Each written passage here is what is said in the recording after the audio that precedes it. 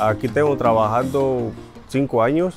Este, me gusta trabajar con las vacas porque me siento a gusto con los animales. Hacemos lo mejor que podamos por, por ellas, porque ellas pues nos dan también comida a nosotros. Entonces hay que tratarlas bien, ah, mantenerlas limpias, limpiarlas cada vez que se ocupe limpiar las comederos, las camas.